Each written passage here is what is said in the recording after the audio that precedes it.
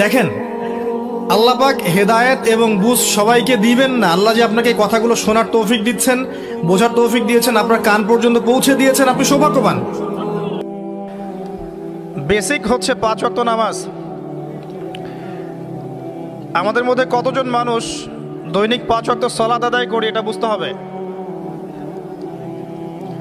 Basic হচ্ছে আপনার জাকাত প্রদান করা। ইসলামের বেসিক হচ্ছে আপনার পরিবারে পর্দা থাকবে। ইসলামের বেসিক আপনার পরিবারে তালিম হবে। প্রত্যেক পরিবার থেকে একটা করে মানুষ অন্তত পক্ষে কোরআনওয়ালা হবে। আলেম হবে বা হাফেজ হবে, এটা আমাদের দাবি ছিল। এগুলো বেসিক যে মুসলিমরা হালাল খাবে, হারামে সম্পৃক্ত হবে না। সাধ্য মতো আল্লাহর দিনের দাওয়াত দিবে মানুষকে। এগুলো বেসিক এই বেসিকগুলো ঠিক আছে কিনা খেয়াল করে দেখেন। আমি আপনাকে গ্যারান্টি দিচ্ছি, এই বেসিকগুলো আমাদের ঠিক নাই। এমন পরিবার খুঁজে পাবেন না যে পরিবারের মধ্যে অলমোস্ট একশো পার্সেন্ট মানুষ পাঁচক্ত নামাজ পড়ে, এখন এই যুগে। খুঁজে পাওয়া দুষ্কর। ইল্লা মাশাআল্লাহ। এমন পরিবার আপনি খুঁজে পাবেন না, যেখানে দেখবেন প্রত্যেক সদস্য কোরআন তেলাওয়াত করতে পারে, ইল্লা মাশাআল্লাহ। বা কোরআনের হাফেজ বা আলেম হয়েছে, খুব কম। এমন পরিবার এখন খুঁজে পাওয়া দুষ্কর, যেখানে প্রত্যেকটা রিজিক হালাল। পরিবারের মধ্যে কোনো অপসংস্কৃতি নাই। পরিবারের মধ্যে ফ্রি মিক্সিং নাই, সুদ নাই। হারাম টাকা আসছে না, বেপরদামি নাই।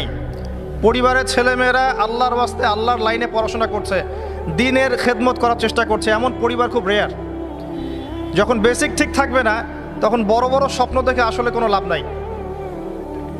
একটা বিল্ডিং নির্মাণ করতে চান, তার বেস যদি ঠিক না থাকে, তাহলে আপনি দশ বিশ তলার স্বপ্ন দেখে আসলে কোনো ফায়দা নাই। এর পরেও আছে, যারা দিনের রিপ্রেজেন্টেটিভ তাদের মধ্যে আপনি দেখবেন ভিতরে দিন নাই। বাইরে যদিও মনে হয় যে দিন দিয়ে ভর্তি, ভিতরে আসলে দিনের কোনো বালাই নাই, ইল্লা মাশা আল্লাহ আবার আপনি দেখবেন যারা ধর্মতাত্ত্বিক ক্ষেত্রে জাতিকে দিক নির্দেশনা দিবে, এরাই শতদা বিভক্ত হাজারটা দলে। এবং প্রত্যেকেই বলছে যে আমি হক, বাকি সবাই বাতিল। সিচুয়েশন খুব ক্রিটিক্যাল এর উপরে আবার আছে সামাজিক অবক্ষয়। এর উপরে আবার আছে রাজনৈতিক সমস্যা। তার উপরে আবার আছে বৈশ্বিক ওয়ার্ল্ড অ্যাফেয়ার্সের প্রবলেম এবং ইকোনমিক স্যাংশন অর্থনৈতিক দাসত্ব। সব মিলে বিশ্বের অবস্থা ভালো না। এখানে তৃপ্তির ঢেকুর তোলার কোনো সুযোগ নাই যে সব কিছু সুন্দরভাবে চলছে। আসলে তা নয়। এখন প্রথমত দৃষ্টিভঙ্গির কথা বলব। দৃষ্টিভঙ্গি পরিবর্তন না করতে পারলে সমস্যা আছে। বাস্তবিক হন, প্র্যাকটিক্যালে মুসলিমদের অবস্থা আসলে ভালো না। এবং পুরো বিষয়ের রিয়েলিটি বুঝতে হলে আপনাকে খিদির আলী ইসালাম হতে হবে। এই ব্যক্তি আবার কে? খিদির আলী ইসলামকে পাবেন কোথায়? কোথায় আছে? সুরা কাহাফে আছে। নবী মুসা আলী ইসলাম প্রশ্ন করছেন, নৌকাটা কেন ফুটা করলেন? নবী মুসা আলী ইসলাম প্রশ্ন করছেন, এই বাচ্চাটাকে কেন হত্যা করলেন? নবী মুসা আলী ইসলাম প্রশ্ন করছেন, দেয়ালটা কেন নির্মাণ করলেন? মুসা আলী ইসলাম বাইরের চোখ দিয়ে দেখছেন, তিনি ভিতরের কথা বুঝতে পারছেন না। কিন্তু খিদির আলী ইসলাম আল্লাহর নূর দিয়ে দেখছেন, তাই তিনি দূরদর্শিতার সাথে দেখতে পাচ্ছেন প্রতিটা ঘটনার পিছনের কারণ কি। যদি নৌকা ফুটা না করতেন, তাহলে জলদস্যু নিয়ে যেত। যদি বাচ্চাটাকে হত্যা না করতেন, এই বাচ্চা বড় হয়ে অনেক বড় কাফের হতো। যদি এই দেয়াল নির্মাণ না করতেন, এই দেয়ালের নিচে রাখা সঞ্চিত সম্পদ এতিম বালকরা পেত না। ঘটনা কি পড়েছেন কখনো? এই ঘটনা কারা কারা পড়েছেন? হাত তোলেন দেখি। এই হচ্ছে বাস্তবতা, হাত নামান। এই ঘটনাটা একটা আপনাকে এপিস্টিমোলজি দিবে। এপিস্টিমোলজি মানে হচ্ছে জ্ঞানতাত্ত্বিক দর্শন। এটা একটা ফিলোসফিক্যাল থট জ্ঞানতাত্ত্বিক দর্শন এপিস্টিমোলজি জ্ঞান তত্ত্ব মুসা আলী ইসলাম বাইরের চোখ দিয়ে দেখছেন। এখনকার পুরো বিশ্বের এডুকেশন এডুকেশনাল ফিলোসফিটা এরকমই। সবাই বাইরের চোখ দিয়ে দেখতে চায়। কিন্তু খিদির আলী ইসালাম ভিতরের চোখ দিয়ে দেখতেন।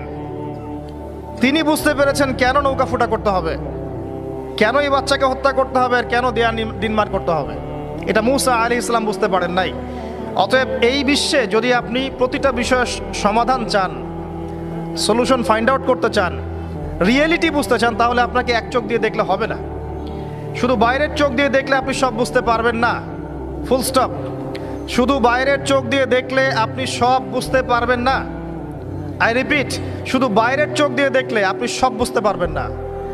আপনাকে আল্লাহর নূর দিয়ে দেখতে হবে, আল্লাহর কলব আপনার জাগ্রত কলব দিয়ে দেখতে হবে। যেমনটা খিদর আলী ইসালাম করেছেন। বাহ্যিক চোখ দিয়ে আপনি সব কিছুকে দেখলে মনে হবে যে বিশ্ব এগিয়ে যাচ্ছে।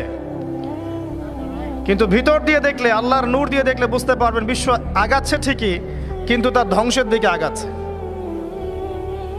সময়ের জন্য অপেক্ষা করতে থাকেন, এক পর্যায়ে কথাগুলো বুঝ- আসবে ইনশাআল্লাহ। হয়তো এখন মাথার উপর দিয়ে যাচ্ছে। ইল্লা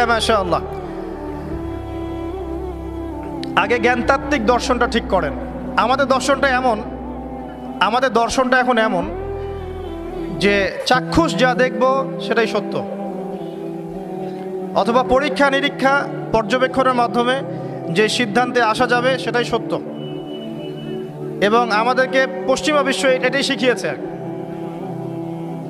পশ্চিমারা আমাদেরকে এটাই শিখিয়েছে যে পরীক্ষা, নিরীক্ষা, যুক্তি, বিজ্ঞান, দর্শন, এগুলোর মানদণ্ডে যা লাভ করা যাবে সেটাই জ্ঞান।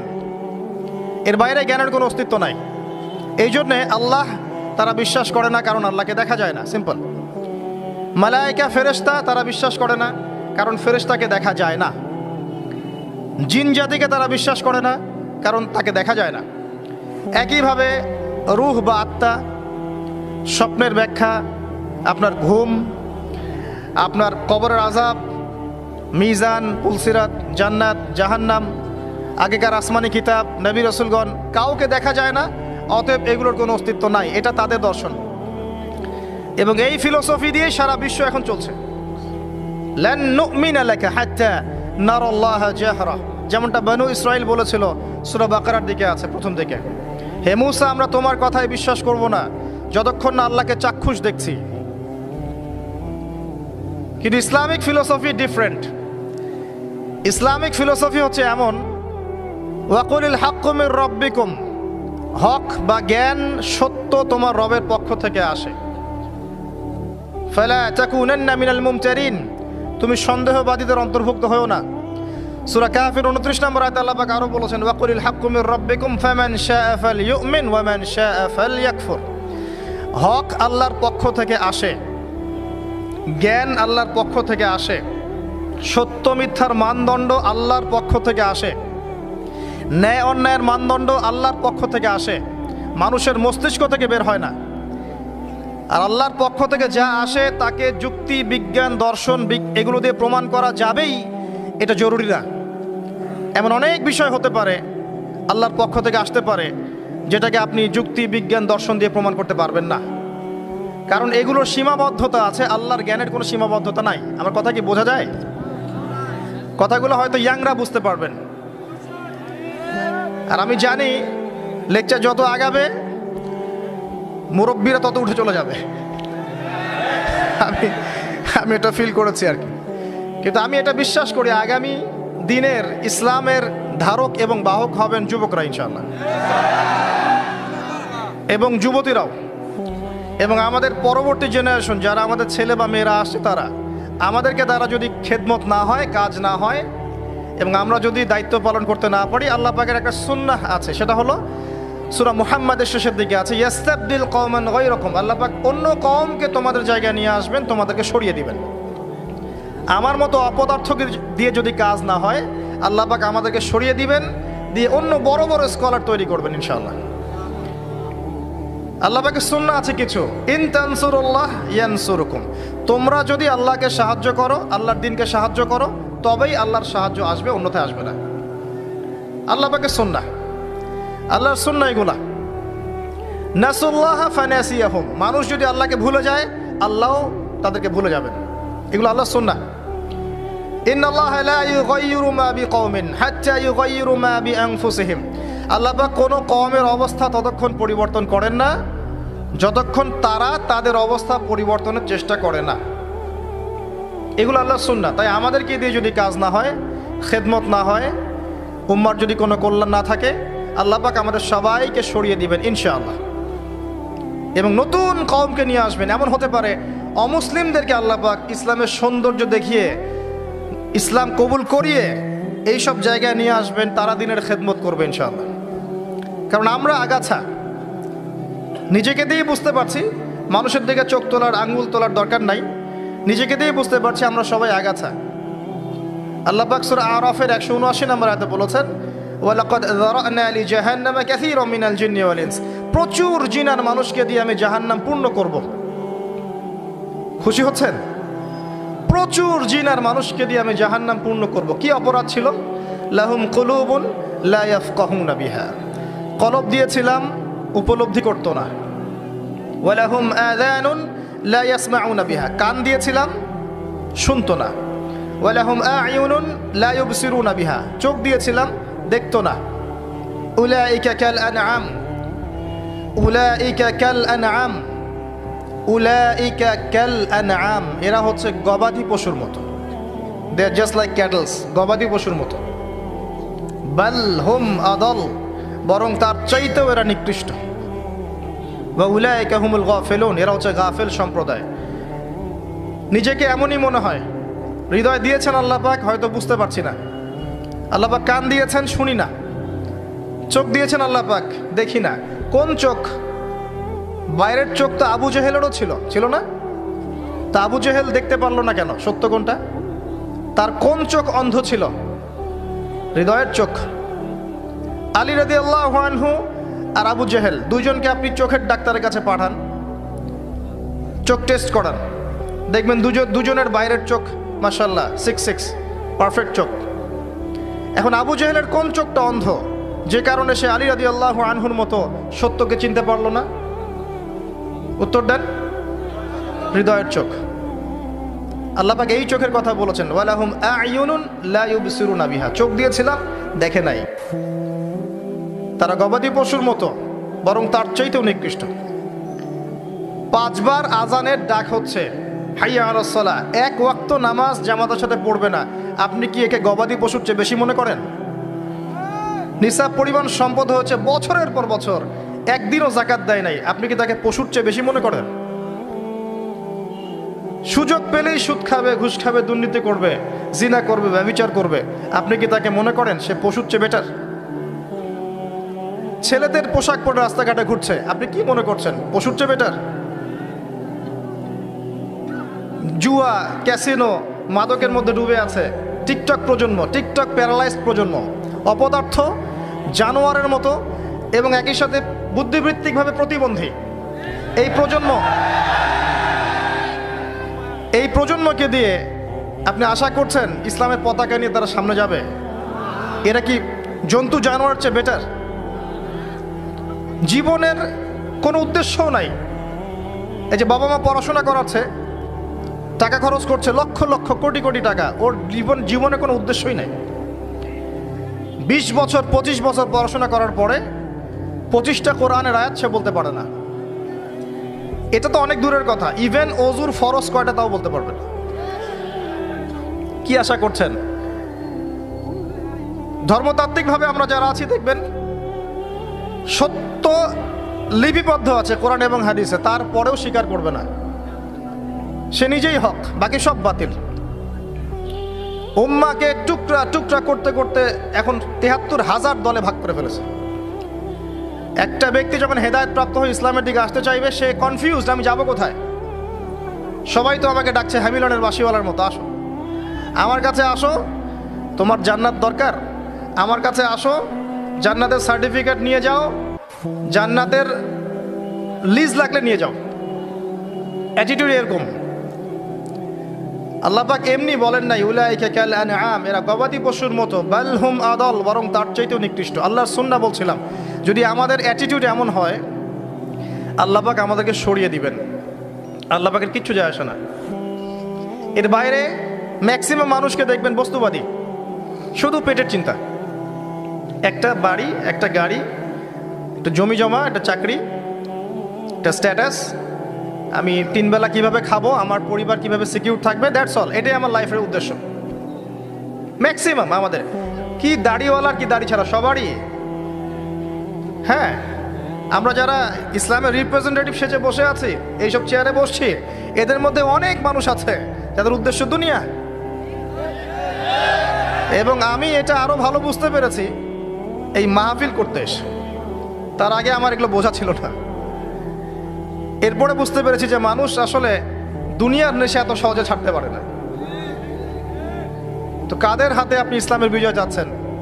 আল্লাহ আলাম, আমাদের দ্বারা যদি না হয় আল্লাহ পাক সরিয়ে দিবেন। কেমন করে সরাবেন? হয়তো করোনা দিয়ে সরাবেন, তো মহামারী দিয়ে সরাবেন আরও বড় কোনো ভাইরাস দিয়ে সরাতে পারেন, পারমাণবিক যুদ্ধ দিয়ে সরাতে পারেন। আল্লাহ পাক সরিয়ে দিবেন। আল্লাহ পাকের কোনো প্রয়োজন নাই, গবাদি পশু। আমি বলি আপনাকে যে, এখানে যে আল্লাহ পাক বলেছেন, বেশিরভাগ মানুষকে জাহান নামের জন্য সৃষ্টি করেছি তাদের সংখ্যাটা আল্লাহ পাক বলেছেন সুরা সই বুখারির মধ্যে চারবার। আল্লাহ পাক বলছেন, আদম আলী ইসলামকে ডাকা হবে কেয়ামতের মাঠে। তাকে বলা হবে, তোমার সন্তানদের মধ্য থেকে জাহান্নামীদেরকে আলাদা করে দাও। আদম আলী ইসলাম বলবেন, কতজন হে আল্লাহ? আল্লাহ রব্বুল আলমিন তাকে জানাবেন, প্রত্যেক হাজারে listen to me very very carefully প্রত্যেক হাজারে নয়শো নিরানব্বই জনকে জাহান্নামের জন্য আলাদা করে দাও। নাউজুবিল্লাহ। এটা রসুল সাল্লাহ আলী আসাল্লামের সেই হাদিসের সাথেও মিলে যায় যে আমার উম্মাহ তেহাত্তর দলে ভাগ হয়ে যাবে, যার মধ্যে একটা মাত্র দল জান্নাতে যাবে। মা আনা আলাইহি ওয়া সাহাবি আমি যার উপরে আছি, আমার সাহাবিরা যার উপরে আছে, আর যারা দলে দলে বিভক্ত হয়েছে, তারা সবাই এই হাদিসটা দিয়েই বিভক্ত হয়েছে। কি বুঝলেন? জান্নাতের লিজ লাগলে নিয়ে যাও, আমার কাছে জান্নাতের ডিলারশিপ আছে, ভাবখানে এরকম। কোনো কোনো ক্ষেত্রে আমরা আবার মানুষকে সহি করতে করতে করতে সহি ভুল পথেও নিয়ে গেছে। এখানেও সমস্যা আছে। চতুর্দিক থেকে সমস্যা। আপনার ধর্মতাত্ত্বিক দৃষ্টিভঙ্গি দেখেন, পরিবারকে দেখেন, সমাজকে দেখেন, বিশ্বকে দেখেন, প্রতিটা সেক্টরে আপনি দেখবেন। অর্থনীতি, যে ফিতনাময় পরিবেশে আপনি বাস করছেন, এখানে বসে যদি তৃপ্তির ঠেকুর তোলেন, যে আমার সব ঠিক আছে ইনশাল্লাহ আমি মরলেই জান্নাতের সার্টিফিকেট পেয়ে যাব আমি বিনয়ের সাথে বলব যে এটা ভুল হচ্ছে। এই চিন্তাটা ভুল হচ্ছে। কিছু প্র্যাকটিক্যাল কাজ আগে করা দরকার ছিল। আমাদের দরকার। তার মধ্যে প্রথমটা হচ্ছে জ্ঞান অর্জন করা। মুসলিম যুবকদের এখন প্রথম কাজ জ্ঞান অর্জন করা। বড় বড় চিন্তা পরে আগে জ্ঞান অর্জন করেন। এ ইকর আবিসমি রব্বি কেল্লাদি খালাক, এই আয়তের উপর আমল করেন। কি জ্ঞান অর্জন করবেন? যারা মাদ্রাসা লাইনে পড়ছেন পড়তে থাকেন, যারা জেনারেল লাইনে পড়ছেন পড়তে থাকেন। উভয় দিকের যে দ্বিমের মেরুকরণ আছে, এটাকে আপনাকে হারমোনিয়াসলি কানেক্ট করতে হবে। যেমন কিছু সাবজেক্ট আপনাকে পড়তে হবে। আপনি মাদ্রাসা লাইনেই পড়েন আর জেনারেল লাইনেই পড়েন। প্রথম সাবজেক্ট হচ্ছে আল কোরআন এর উপরে কোনো জ্ঞান নাই। আল কোরআন আল কোরআনের মধ্যে আবার কিছু কাজ আছে। আল কোরআনের প্রথমত তেলাওয়াত শিখতে হবে এবং নিয়মিত তেলাওয়াত করতে হবে। আপনি যদি আল কোরআনে নিয়মিত তেলাওয়াত করেন, আপনাকে কেউ বাধা দিবে? আমরা অনেক সময় আঙ্গুল তুলে তুলে রাখি উপরের দিকে। কিন্তু যে কাজগুলো আমরা করতে পারি, সেগুলোই করি না। আপনি কোরআন চর্চা করেন, কেউ বাধা দিবে? প্রথম সাবজেক্ট আপনার কোরআন। এর তিলাওয়াত এরপরে হচ্ছে অ্যারাবিক ল্যাঙ্গুয়েজ। অ্যারাবিক ল্যাঙ্গুয়েজের মধ্যে নাহু, সর্ফ শিখতে হবে। মাদ্রাসার যে ক্লাসিক্যাল বইগুলো আছে, সরফের এবং নাহুর এসো আরবি শিখি। আবু তাহের মেজবা শাইখের যে কোর্সগুলো আছে বরেন ওলা ওলামায়কেরাম যারা আছেন, কমি মাদ্রাসার, এবং যারা অ্যারাবিক সেকশনে খেদমত করছেন, এদের কাছে গিয়ে পড়ে থাকেন। পড়ে থেকে অ্যারাবিকটা শেখেন। অ্যারাবিক শিখলে আপনি কোরআনের অর্থটা বুঝতে পারবেন। আর কোরআনের অর্থ না বুঝলে আল্লাহ নূর আপনার কলবে আসবে না। কোরআনের অর্থ না বুঝলে আল্লাহ নূর কোশ্চিন কালেও আসবে না, আপনি খিদির হতে পারবেন না। এবং এই কোরআন কোনো সাম্প্রদায়িক বই নয়। এটা সবার জন্যে। এই কোরআন সবার জন্যে, পুরো মানব জাতির জন্যেই। শুধু আমাদের মুসলিমদের অথরিটি না এটা। আমাদের পৈতৃক সম্পত্তি নয়, এটা পুরো মানব জাতির জন্যে।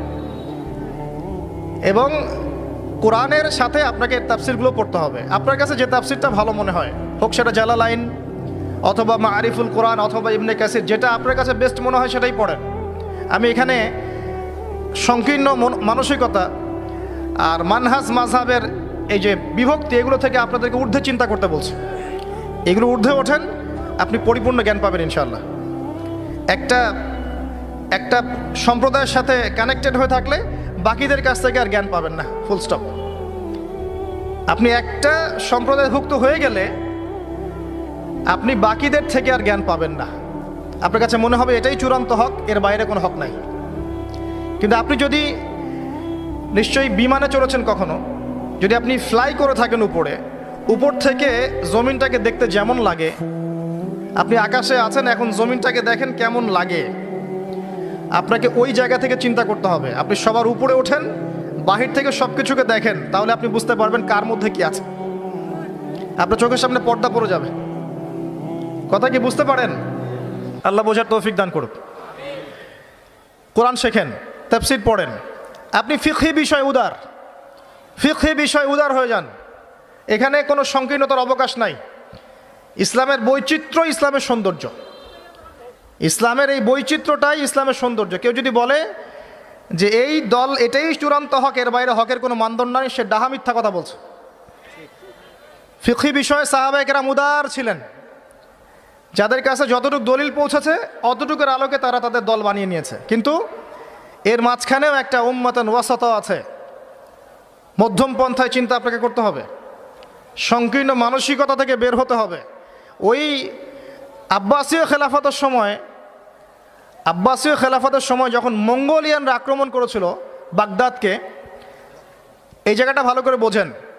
যখন মঙ্গোলিয়ানরা আক্রমণ করেছে বাগদাদকে, তখনও কিছু মানুষ বসে বসে ঝগড়া করছিল, বাহাস করছিল যে কাকরা খাওয়া হালাল না হারাম। আমার কথা বুঝতে পারেন? কাকড়া খাওয়া হালাল না হারাম এটা নিয়ে বাহাস করছিল। অলরেডি মঙ্গোলিয়ানরা হামলা করে দিয়েছে। পুরো বৈশ্বিক প্রেক্ষাপটে আমরা এখন সেটাই করছি। পুরো বিশ্বের প্রেক্ষাপটে মুসলিমদের যে অবস্থা, এখন আমরা অভ্যন্তরীণভাবে এটাই করছি। কে হাত কোথায় বাঁধবেন, কে কোথায় পায়ে পা লাগাবেন কি লাগাবেন না, আস্তে আমিন বলবেন না, জোরে বলবেন। তারাবিন নামাজ, সামনে তো আরেকটা বাহাস আসবে। বিশ পড়বেন না, আট পড়বেন। ঈদের নামাজ কত তাকবিরে পড়বেন? ইত্যাদি। যে মাস আলাগুলোকে নিয়ে সাহাবেক রামের যুগ থেকে শুরু করে ইখতলাফ চলে আসছে, এগুলো নিয়ে আমরা কেয়ামত পর্যন্ত ইখতলাফ করতেই থাকব, বলেন ঠিক। তাই না?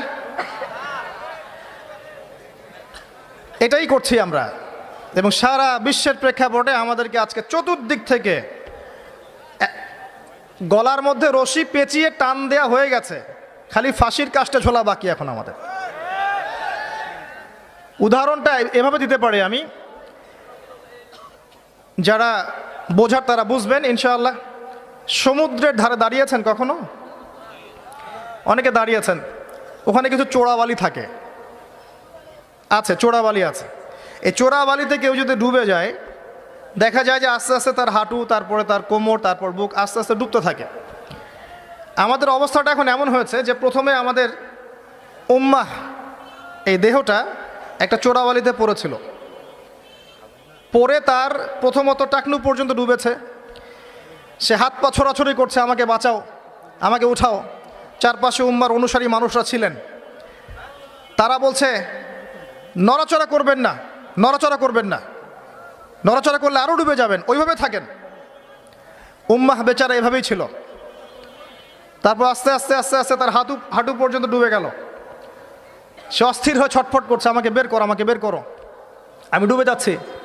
আশপাশের মানুষ বলছে, রিল্যাক্স, নড়াচড়া করবেন না। নড়াচড়া করলে আপনি ডুবে যাবেন।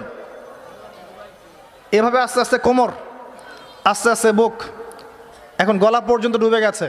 এখনও উম্মাহ চিৎকার করছে, আমাকে বের করো, আমাকে বের করো। আমি ডুবে যাচ্ছি। আশপাশের মুসলিমরা বলছে, নড়াচড়া করতে যায় না, নড়াচড়া করতে যায় না, ওইটাও ডুবে যাবে। টেনে তুলবে একে এখন? যারা আশপাশে আছে, এই দুরবস্থায়, এবং এই দায়িত্ব পালন করে নাই আল্লাহবাক অচিরে তাদেরকে সরিয়ে দিবেন ইনশাআল্লাহ। কোনো সন্দেহ নাই। নতুন কোনো কম আসবে ইনশাআল্লাহ। নতুন কোনো প্রজন্ম আসবে ইনশাল্লাহ যারা এই উম্মাটাকে আবার তুলবে ইনশাআল্লাহ তাআলা। এবং আমরা জানি, আমরা আখরুজ্জামান স্টাডি করে দেখেছি যে বিশ্বের সামনে এমন সময় আসবে, যখন ঈসা আবনে মারিয়ামকে আল্লাহ পাক নামাবেন। এবং এই বিষয়ে কোনো সন্দেহ নাই। আর ন্যাটো যদি চেষ্টা করে, তাকে থামাতে পারবে না। কথা কথা বুঝতে পারেন নাই? পৃথিবীর কোনো শক্তি তাকে আটকাতে পারবে না। আল্লাহ পাক এটা বলে দিয়েছেন, সিরিয়ার দামেস্কের সাদা মিনারের উপরে দুইজন ফেরেশতার কাঁধে ভর করে ইসাব নেমারিয়ামকে আল্লাহ পাক পাঠাবেন।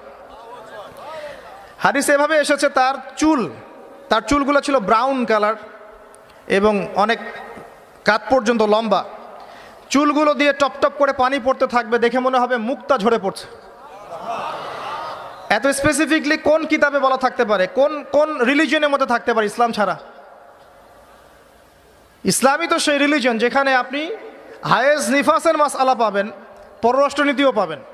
অন্য কোথাও আছে? ইসাব নামরিয়ামের চুল দিয়ে টপ টপ করে পানি পড়তে থাকবে। এটা পর্যন্ত বলা আছে। এবং আল্লাহ পাক বলেছেন, তার রসুলের মাধ্যমে জানিয়েছেন সাল্লাহ আলী হাসাল্লাম যে ইসাব নেমারিয়াম প্যালেস্টাইনের বাবেলুদ নামক জায়গায় মাসিহুদ্দাজ্জালকে হত্যা করবে, ইনশাআল্লাহ। এবং এখান থেকে, ওই জেরুজালেম থেকে তিনি পুরো বিশ্বে ইসলামী খেলাফা বাস্তবায়ন করবেন। এটা কত বছর পর? এটা ননসেন্স প্রশ্ন।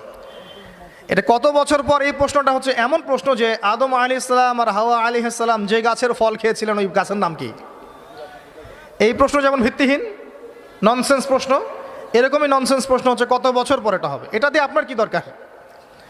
কত বছর পর হবে এ আপনি কি করবেন? আমি কি করব? কারণ আমরা তো অপদার্থ, আগাছা। আমাদের সাথে এগুলো সাথ কি? আমাদের তো বেসিকই ঠিক নাই। ইসাব নেমারিয়াম এর হাতে আল্লাহ রবুল্লাহ আলমিন চল্লিশ বছর পৃথিবীর খেলাফা রাখবেন ইনশাআল্লাহ তখনকার যে প্রজন্মটা থাকবে, এই প্রজন্ম ইনশাআল্লাহ ওই চোরাবালিতে ডুবে যাওয়া উম্মাহকে টেনে বের করবে ইনশাআল্লাহ আজাল এখন সময়ের অপেক্ষা করে বসে থাকার জন্য আপনাকে পাঠানো হয়নি, আমাকে পাঠানো হয়নি। আল্লাহ পাক কিছু দায়িত্ব দিয়েছেন। প্রথমটা বলছিলাম আপনাকে জ্ঞান অর্জন করতে হবে। এবং জ্ঞান অর্জনের প্রথম ধাপ হচ্ছে আল কোরআন যে যে সেক্টরই পড়াশোনা করেন। তারপরে আপনি আসবেন আরবি ভাষা সাহিত্যে, এরপরে আসবেন তাফসিরে, অনুবাদে এরপরে হাদিসের কিতাবগুলো পড়বেন এবং লাভ দিয়ে কঠিন হাদিস পড়তে যাবেন না রিকোয়েস্ট আগে লাভ দিয়ে খপ করে সই বুখারি ধরতে যাবেন না, আপনি বিভ্রান্ত হয়ে যাবেন। আই রিপিট লাভ দিয়ে খপ করে সই বুখারি ধরতে যাবেন না, আপনি বিভ্রান্ত হয়ে যাবেন। বলতে পারেন যে বেদাতি কথা বলছি কি না এটা এটা ফকিহিদের কথা। যারা ফুকাহায় কেরাম তাদের কথা। কারণ লাভ দিয়ে কেউ এম পড়তে পারে না। লাভ দিয়ে কেউ মেডিকেল সায়েন্সের বই পড়তে পারে না।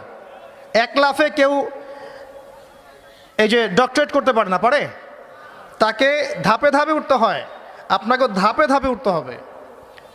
হারিসে আরবাইন দিয়ে শুরু করেন।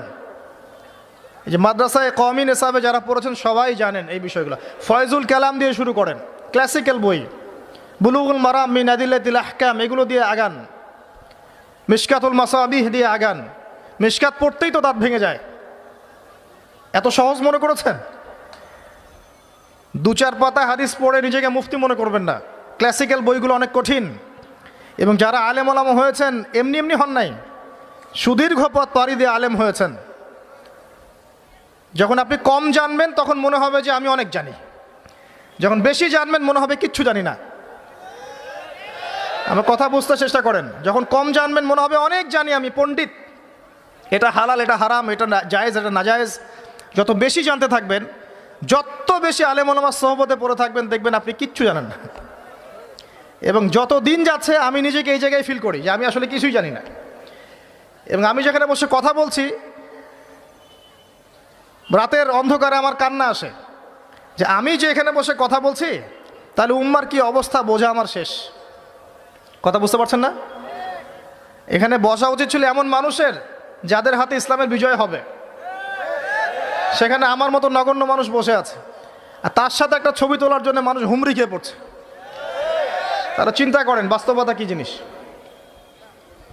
আল্লাহ পাক আমাদেরকে বুঝদান করুক। প্রত্যেকটা ঘরে ঘরে একটা করে ইসমাইলের মতো ছেলে তৈরি করেন আলী ইসালাম প্রত্যেকটা ঘরে ঘরে একটা অমর এবং খালিদের মতো ছেলে তৈরি করেন। মারিয়াম, আয়েশা রাদি আল্লাহ আনহুমা তাদের মতো করে মেয়ে তৈরি করেন আজকে থেকে পঞ্চাশ বছর পরে একটা রেজাল্ট পাবেন ইনশাআল্লাহ। ইসলামের বিজয় হুট করে হবে না। আল্লাহ পাকের সিস্টেম সুন্না সুন্না হচ্ছে আল্লাহ পাক হঠাৎ করে কিছু করেন না। রাত থেকে দিন হয়, ধীরে ধীরে হয়। দিন থেকে রাত হবে, ধীরে ধীরে হবে। ধাপ করে রাত হয় না, ধাপ করে দিন হয় না। আর আমরা এটা আশা করে বসে আছি যে ধাপ করে মনে হয় ইসলাম বিজয় হয়ে যাবে, জি না? ইসাব নেমারিয়ামের সেই সময় আসতেও দেখবেন অনেক পর্যায়ে পার হবে। বিশ্ব এই অবস্থায় থাকবে না। এক তৃতীয়াংশ মানুষই থাকবে না ডেড এবং কে জানে আগামী দশ বছর মধ্যে নাও থাকতে পারে। বল্লাহ আলাম। যা শুরু হয়েছে বিশ্বে। যারা আমাদেরকে হিউম্যানিটি শিখাতো এক সময় মানবতা শিখাতো, এরাই দেখবেন এখন অমানবিক আচরণ করছে। এটা ওপেন সিক্রেট যারা আমাদেরকে মানবতার ধ্বজাধারী হয়ে আমাদেরকে মানবতা শেখায়, আমরা যদি বাধ্য হয়ে কারও কাছে বহির্বিশ্বের কাছে ঋণ চাই, আমাদের আমাদেরকে নিয়ে ঠাট্টা মস্করা করে আর এগুলো এখন সব মিডিয়াতে আসে। আমাদেরকে কিছু মনেই করে না। অ্যারোগেন্ট জাতি, এই পশ্চিমারা। আল্লাহ পাকে এমন কলিউশন লাগিয়ে দিবেন যে ওরা আপোষে মারামারি করে শেষ হয়ে যাবে, দেখে নিন আল্লাহ পাকে এমন কলিউশন লাগিয়ে দিবে যে পুরো ওই জায়গাটা ধসে যাবে। পৃথিবীর তিনটা বড় বড় ভূমিকম্প বাকি আছে এখনও তার মধ্যে একটা হবে পশ্চিমা বিশ্বে। আর একটা অবশ্য পূর্ব দিকে, যেখানে আমরাও থাকি। আরেকটা হচ্ছে আমাদের আমিরুল মমিনদের দেশে। দুবাই দুবাই, আরব কন্টিনেন্ট তারা আমাদের এখন আমিরুল মমিনিন না? অনেক মানুষ তাই মনে করেন। যে আরবিতে কথা বললেই আমিরুল মমিনিন। কাবাঘর একটু ঘষা মাজা করলেই আমিরুল মমিনিন। সুহান আল্লাহ আপনি এক চোখ দিয়ে দেখেছেন, আপনার ভিতরের চোখ অন্ধ। ইসরায়েল পুরো জায়গা ক্যাপচার করে ফেলবে অচিরেই ইনশা আল্লাহ তাআলা। নাকের ডগায় বসেই। এবং মুসলিমরা মেনেও নিবে সেগুলা। তার সাথে বন্ধুত্ব করে ফেলবে। এবং সে ডমিনেট করবে পুরো আরব বিশ্বকে। চ্যালেঞ্জ করলাম, দেখে নিন, ইনশাআল্লাহ তাআলা। আপনি এখন অন্ধ। ইমামুল মাহদি যখন আসবে, তখন দেখবেন তার উপরেই চাপ সৃষ্টি করা হবে।